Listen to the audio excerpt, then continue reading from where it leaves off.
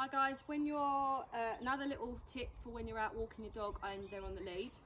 Uh, if you allow your dog to sniff every single bit uh, and scent mark and wee and cop its leg up everything, um, then what tends to happen is your scent could start here, the smell, and end up over there. So all of a sudden you're now being carted with that, that smell. So the rules for my dogs, not saying that you have to do the same, the rules for my dog is that if you're on the lead, okay, you walk nicely.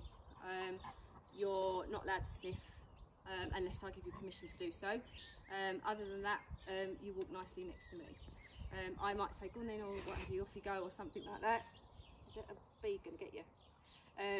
Uh, then I don't let them sniff to start off with, otherwise you will end up being carted here, there and everywhere. All right, so just bear that in mind if you are walking your dog.